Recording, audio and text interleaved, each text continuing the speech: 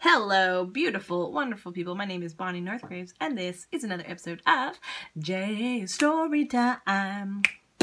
You might notice Pepper is absent from this episode, and it's not because he's mysteriously been captured by a phantom menace. No, um, he has been singing just a little bit louder than I have, so he needed a little bit of a musical break in the bedroom. And he can come back when he's nice and quiet again. Um, or when I'm done singing. Then it can be his turn again. Um, no, that's enough about Pepper. Let's talk about music. So uh, today we're going to be featuring a song from 1930. This is by George and Ira Gershwin. Um, the song's called But Not For Me. It's for you. So let's jump into it. Zupa doopy and okay. Okay, uh, I'm to play this in the key of G major. Oh, yeah, and one more cool thing about this song is that it doesn't start on the one chord. It starts on two chord, which fits our trend of songs that don't start on one.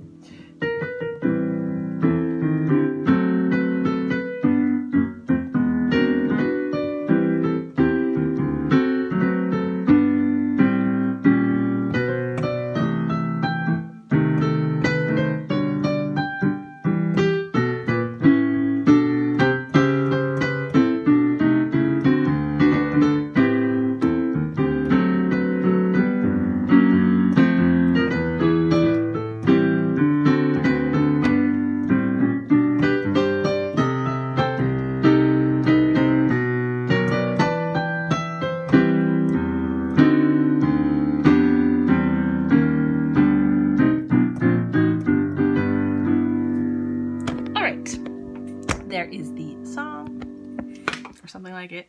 Um, so this was written in 1930 for a musical called Girl Crazy. Now this is important to note because in this first rendition of the musical, this song was sung by Ginger Rogers, and this is actually the musical and the song that launched her off into stardom. So she had a great film and dance and entertaining career. Um, this was the beginning of it, or at least the thing that accelerated her. Um, in 1934, um, they made a film version of this musical. Actually, they made one in 1966. I can't remember what it's called off the top of my head because it has a different title. Um, but the 1934 film uh, featured Mickey Rooney and Judy Garland. So you can also check that out if you are feeling so inclined. Um, one more thing to note about the 1930 version, the stage musical version, um, was that not only was there incredible talent on stage and behind the musical, like the writing, the composing, the um, choreography, but also the band that played behind everything was just like totally stacked. So uh, some of the musicians featured in it were like Benny Goodman, Glenn Miller, uh, Red Nichols, Jimmy Dorsey, Jack Teagarden, Gene Krupa. Like it was super stacked. Um, so I don't even know, like, can you imagine, like, being somebody on stage and having, like, that many super famous, talented people backing you up? Pretty cool.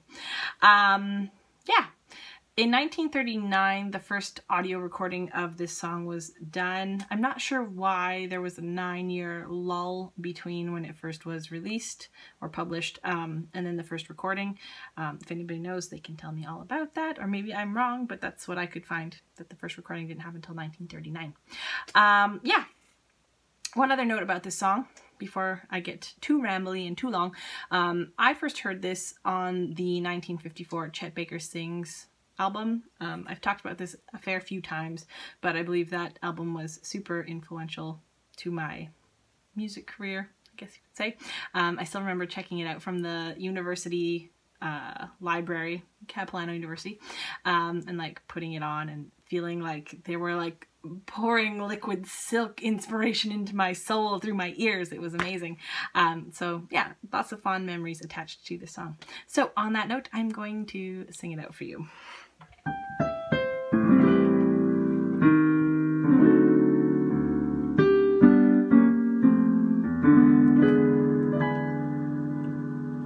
They're writing songs of love, but not for me. A lucky stars above, but not for me.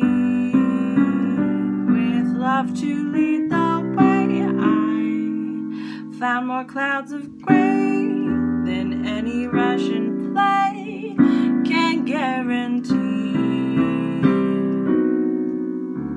I was a fool to fall and get that way.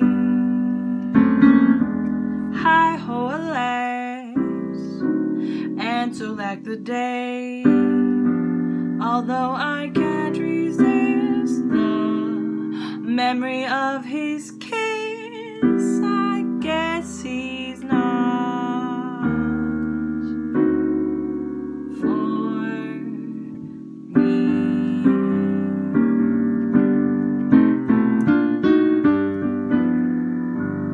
All right, there's the tune. My name's Bonnie.